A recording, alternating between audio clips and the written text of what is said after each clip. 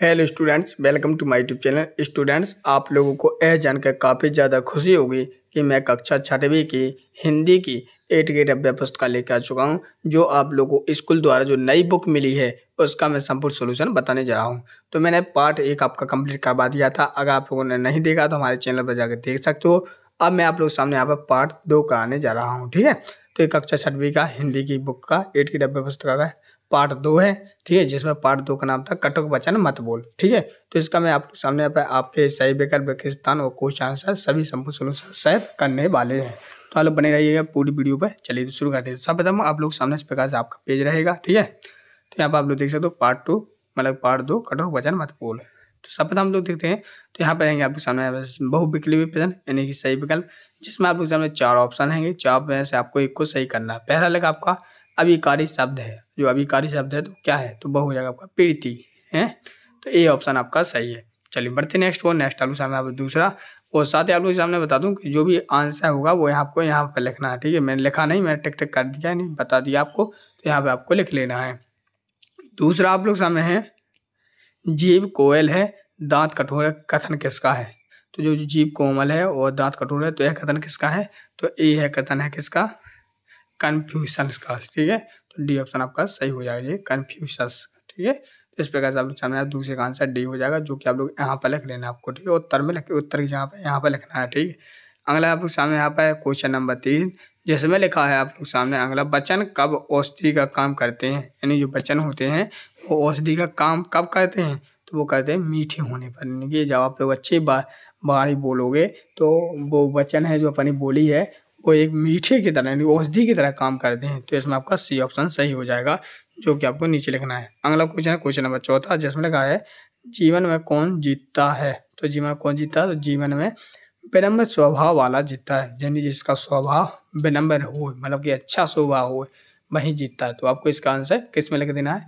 इसका आंसर लिखना आपको यहाँ पर उत्तर वाले में।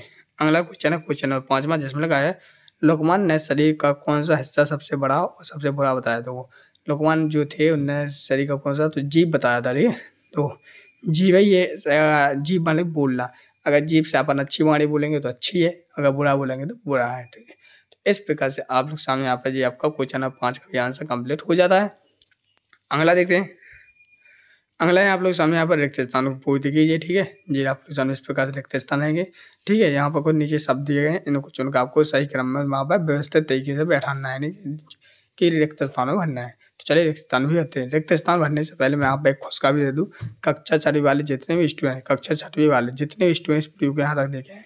सभी लोग चैनल को सब्सक्राइब कर लेना बेटा, क्योंकि आपकी जो वहाँ से परीक्षा होगी, या तेरह माह से ग्यारह से परीक्षाएँ होंगी, जितनी भी परीक्षाएँ होंगी, उनके लिए मैं मोस्ट इंपोर्टेंट क्वेश्चन लाऊँगा, साथ ही आपके लिए मॉडल पेपर भी लाऊँगा, जिससे आप लोग अपनी तैयारी करके अच्छे नंबर प्राप्त कर सकते हो। ठीक है तो बहुत से लोगों ने सब्सक्राइब कर लिया था, अगर आप लोगों ने नहीं किया है तो कर लीजिए, ठीक?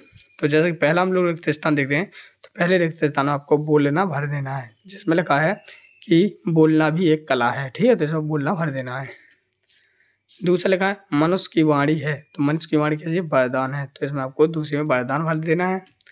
क्वेश्चन नंबर आठवें में भरना आपको, आपकी वाणी कठोर तीखी व करगस है, उसे हम क्या कहते हैं? मीठी कहते हैं। मीठी बनाइए, ठीक है? क्वेश्चन नंबर आठवां, आठवें लिखा है बाड़ी के सदुपयोग से स्वर्ग नरक भी बन सकता है। तो स्वर्ग भी एक का है तो हम दुरुपयोग भर देंगे। तो यहाँ पर आपका दुरुपयोग आ जाएगा, ठीक है? अगला प्रश्न क्वेश्चन नंबर दसवां जिसमें लिखा इम्तिहान शब्द का अर्थ है तो इम्तिहान शब्द का अर्थ होता है परीक्षा। तो जब निकले उसका इम्तिहान लेंगे। तो एक गाना भी है, इम्तिहान नहीं लेना मतलब कि परीक्षा नहीं लेना, ठीक है? तो इस प्रकार आप लोग सामने समझ में आ जाता हो, ठीक है? इम्तिहान वन होता है परीक्षा। अगला क्वेश्चन आप लोग सामने अति लघुत्ती प्रश्न अति लघुत्ती प्रश्न कहलाते हैं छोटे वाले प्रश्नों के उत्तर देना, ठीक है? तो हम छोटे जैसे भी लगा, पहले क्वेश्चन देख लेते क्वेश्चन नंबर ग्यारह जिसमें लिखा कटु सत्य को प्रिय व मधुर कैसे बनाया जा सकता है? जो कटु है, कटु सत्य है, और को हम प्रिय व मधुर कैसे बना सकते हैं? तो इस प्रकार से बनाएँगे। तो इस प्रकार से, कटु शब्द को हम श्री बाक चतुरी से प्रिय और मधुर बनाया जा सकता है। आया समझे यानी जो चतुराई से हम जब मधुर या प्रिय भी बना सकते हैं तो क्वेश्चन नंबर ग्यारह का आंसर आपके सामने इस प्रकार से हो जाएगा। अगला क्वेश्चन नंबर बारह तो क्वेश्चन नंबर बारह में लिखा है, मीठी एवं कर्कश वाणी के लिए किन किन पक्षियों का उदाहरण दिया जाता है? तो मीठी एवं कर्कश वाणी के लिए कोआ पक्षी का उदाहरण दिया जाता है, ठीक है? तो हम कोआ और कोयल, कोआ और कोयल लिखना है यहाँ पर, ठीक है? कोआ और कोयल। कोयल पक्षी का उदाहरण दिया जाता है। तो इन दो का नाम दिया लिख देना आपको। अगला क्वेश्चन नंबर तेरह जिसमें लिखा है पाठ के आधार पर जिज्ञासु शब्द का अर्थ जो जिज्ञासु का अर्थ होता है जानने की इच्छा रखने वाला ठीक है? जो जिज्ञासु होते हैं वो जानने की इच्छा रखते हैं। जैसे मान को, कोई भी चीज़ के बारे में बता तो आपके अंदर एक वो इच्छा होनी चाहिए जानने की तभी आप जिज्ञासु कहलाओगे ठीक है? नहीं तो बनना है क्वेश्चन रहो। इस प्रकार से हो जाता है। अगला क्वेश्चन नंबर चौदह जिसमें लिखा महाभारत का युद्ध क्यों हुआ था? तो देखो, महाभारत का युद्ध क्यों हुआ था? महाभारत का युद्ध कटु वचन के कारण हुआ था। मतलब अब शब्द बोले थे जो कटु वचन तो युद्ध हुआ था। वो आप लोग भी जानते हैं, अगर आप हमारे यहाँ पे भी, हमारे स्कूल में अब हमारे ही दोस्त अगर हमसे कटु वचन बोलते हैं गाली माली देते हैं तो हम लोग भी लड़ाई करने लगते हैं, ठीक है ना? तो इस प्रकार से आप लोग जान सकते हो कटुक वचन से क्या होता है, युद्ध सही से हो जाते हैं। तो हमें कैसे अच्छे अच्छे ही शब्द बोलना चाहिए। अगला लघु प्रश्न, जिसमें है, पहला क्वेश्चन है बाक चातुर्थ क्या है? जो बाक चातुर है, वो क्या है? स्पष्ट कीजिए मतलब इसका आंसर देना है। तो इसका आंसर आप इस प्रकार से लिखेंगे। बाघ चातुर से कटु वचन को मधुर और प्रिय बनाया जा सकता है ठीक बाक चातुर से हम अपनी बात को बड़ी आसानी से कह सकते हैं। तो आपका क्वेश्चन नंबर पंद्रह का आंसर हो जाएगा। क्वेश्चन नंबर सोलह लिखा है यहाँ पर।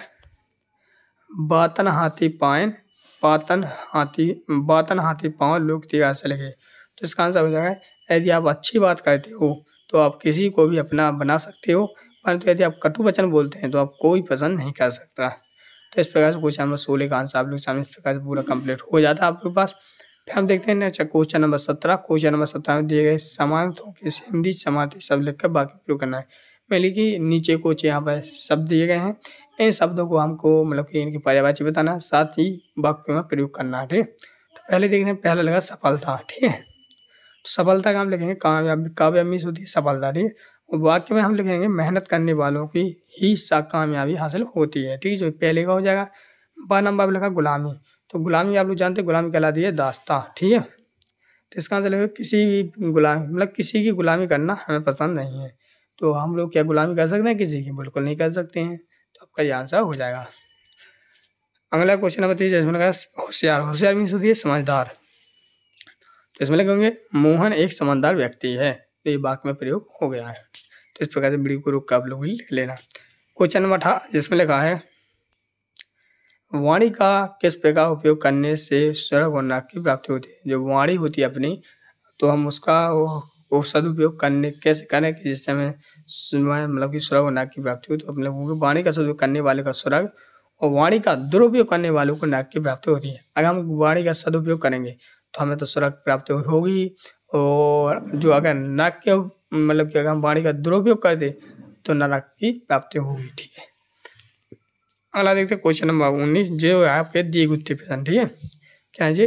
दीगुत्ती प्रश्न दीगुत्ती प्रश्न कहलाते हैं ये बड़े वाले, ठीक है। तो ये दीगुत्ती प्रश्न हो जाएँगे। जिसमें लगा है, आप जब किसी मधुर वचन कहते हैं तो आपको क्या लाभ होता है? जब आप किसी से मधुर वचन मतलब कि कहने का है कि जब आप किसी से अच्छे वचन बोलते हैं या अच्छी वाणी बोलते हैं, जैसे, सर, मैम, आप कहाँ जा रहे हो? आपने खाना खाया कि नहीं खाया? ऐसे कुछ अच्छे शब्द कैसे हो आप? तो आपको क्या लाभ है? तो देखो, आपको क्या लाभ है? तो हम आपको इससे सुनने वाले की आत्मा तृप्त हो जाए। जैसे मान लो आपने कहा, सर, आप थैंक यू जैसा आपने कमेंट में लिख दिया कि थैंक यू सर जो आपने मुझे बता दिया, वो मेरी समझ में आ गई मैंने पूरा लिख लिया है। तो मुझे सुनकर क्या? मुझे सबसे पहले तो मेरी आत्मा को तृप्त मेरे को मुझे खुशी हुई। चलो मैंने इतनी मेहनत से वीडियो बनाया तो सामने वालों को समझ में आया और उसने मतलब मैं कमेंट किया। और वही बात आप लोग कमेंट में लिख देते कि, सर, मज़ा नहीं आया, ख़राब लिखा आपने ये, फलाना लिखाना तो मेरे को बुरा लगता और मैं वीडियो नहीं डालता और डिलीट भी कर देता। तो ठीक है तो इससे आपका नुकसान होता और मेरे को भी नुकसान होता। फिर लिखा, और मन प्रसन्न होता है, उसके मन से क्रोध होते हैं घृणा की भाव नष्ट हो जाती है। तो जैसे मन अपना क्या है? मन अपना प्रसन्न हो जाता है, ठीक है? जैसे मान लीजिए आपने कमेंट किया तो मेरा मन खुश हो गया, वो हमारे अंदर जो क्रोध या घृणा है तो वो हमारा भाव भी नष्ट हो जाता है। इसके साथ ही हमारा अंत कारण भी प्रसन्न हो जाता है, फिर वहाँ को औरों को स्वगतशीलता प्राप्त होती है। मतलब कि हम खुश हो जाएँगे तो मतलब वाणी से हम दूसरों को खुशी एवं प्रसन्नता पहुँचा सकते हैं, ठीक है? क्वेश्चन नंबर बीस में लगा सत्य कभी कभी कड़वा भी होता है, परंतु इसे कहने से पूर्व कौन कौन सी सावधानी रखनी चाहिए? दो जो सत्य होता है अपन क्या सत्य कड़वा होता है। कहने लगते ना तो सच कहो तो कड़वा सत्य का लगा कड़वा होता है। तो बोल ऐसा तो सत्य कहने से पहले कौन कौन सी सावधानी रखनी चाहिए, बताओ। तो जे नियम जैसे सच कहना है, एक अच्छी बात है। परंतु जिस तरह आप कड़वा सच कहते हैं, वह बिल्कुल ठीक नहीं होता है। आपको ऐसे सच तरीके से बोलने चाहिए, जो किसी को तकलीफ़ नहीं हो। आवेश में आकर किसी को खड़ी खोटी सुनाना ठीक नहीं होता है। आपको पुराने रीति रिवाज व परंपरा के साथ नहीं रहना ठीक ठीक नहीं होता। बदलाव बहुत ज़रूरी है, ठीक है? तो जैसे मान लो अपन को कुछ सच बोल दे तो सामने वाले को बुरा लग जाता है तो अपन का ऐसे नहीं बोलना है। अपन को बोलना कैसे ऐसे बोलना है कि सामने वाले को बुरा भी ना लग जाए और अपन भी कह लें, ठीक है? तो इस प्रकार से आप लोग वीडियो को रोक कर क्वेश्चन और बीस का भी आंसर लिख लेंगे। तो स्टूडेंट, इस प्रकार से आप सामने यहाँ पर आपका कक्षा छठवीं का हिंदी का पार्ट दो कंप्लीट होता है। अब जो नेक्स्ट वीडियो आएगी वो पार्ट तीन की आएगी। इसलिए आप लोगों ने चैनल को सब्सक्राइब कर ही लिया था, बहुत लोगों ने। अगर आपने नहीं किया तो कर लीजिए और वीडियो को लाइक करके कमेंट में थैंक्स ज़रूर लिखें, ताकि मुझे भी तो लगे कि आपके बचन कैसे हैं, ठीक? तो मिलते हैं नेक्स्ट वीडियो में, तब तक के लिए जय हिंद, जय भारत।